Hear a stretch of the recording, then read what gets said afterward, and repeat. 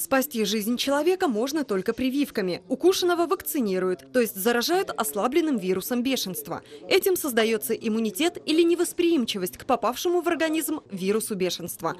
За последние полгода на территории нашей области выявлено 78 случаев лабораторно подтвержденного бешенства среди животных. Большую часть составили дикие звери, преимущественно лисы. В течение этого года в областные клиники с жалобами на укусы животных обратилось почти две с половиной тысячи человек. Это выше показателей прошлого года. Большая часть стала жертвами домашних любимцев. Для Брянской области из федерального бюджета на вакцины против бешенства выделено 10 миллионов рублей. То есть средства имеются, однако не все жители Брянского региона прививаются. Тем самым наносят непоправимый вред здоровью, влекущий за собой смерть. Чаще отказываются от прививок жители Унечи, Клинцов, Новозыбкова, Мглина и Злынки. Бешенство – это природно-очаговая инфекция. Основными хранителями и носителями вируса в дикой природе являются лисы и волки, а среди домашних животных – кошки и собаки. Собаки и кошки всегда выступают посредниками, перенося вирус бешенства из природных, возникших в результате хозяйственных действий человека, очаги этой инфекции.